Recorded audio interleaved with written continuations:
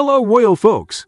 Before we move on to any further details, if you haven't subscribed my channel yet, I mean, what are you waiting for, guys? Hit that subscribe button now. Also, please don't forget to press the bell icon. According to Paul Baldwin, Prince William has already been chosen as the protagonist and Prince Harry as the antagonist. And wow, did they both nail their roles this past weekend?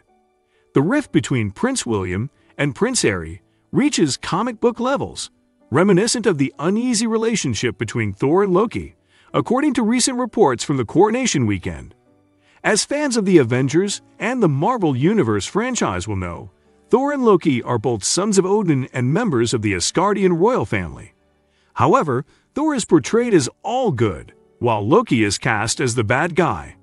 It appears that Prince William has taken on the role of Thor in the royal family, while Prince Harry has become the Loki god of mischief. Prince William and his family were praised for their supporting roles during the weekend's coronation celebrations.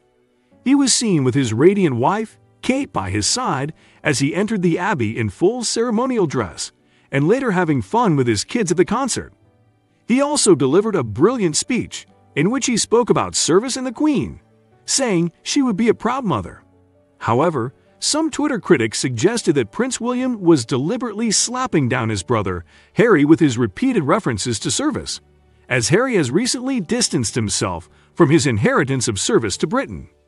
But the point was missed, according to the writer of the report, who says that the wiser royals understand that they survive and thrive by being public servants.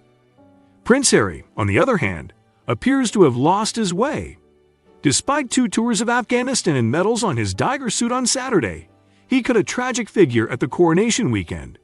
He was seen two pews away from his brother without exchanging pleasantries and snubbed the family lunch. While it was Archie's fourth birthday, the report suggests that the best way to celebrate would have been in the bosom of his extended family at the party of all parties. Harry's recent actions, including the Oprah interview in his book, have left him ashamed, and he has brought nothing but a grasping grubbiness to the table, the report concludes. So, what do you think about this news, guys? How has the royal family's image been affected by the recent controversies surrounding Harry and Meghan's interviews and books? Write down in the comments what you think and let me know. Also, if you never want to miss any of my sizzling royal updates like this, subscribe and press the bell icon. As simple as that. Thank you so much.